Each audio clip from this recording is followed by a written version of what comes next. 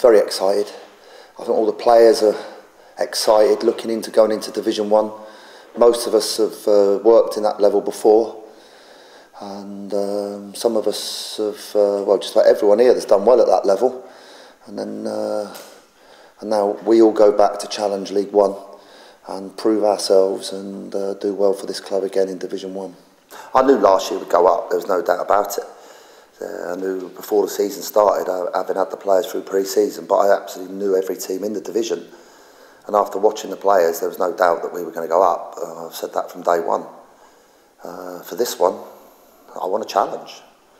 I said that as soon as we got promoted last year. I said it in front of the players from day one.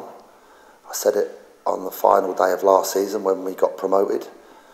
Um, I want a challenge. We've seen last season, every game of football is tough. You have to uh, play well in every game to win it. Same as this one on Saturday. Um, we're a much bigger club than them, much bigger. And uh, with the backing of our supporters, and if our team plays to its best, then we can win. And together with the players and the supporters, we can beat Colchester.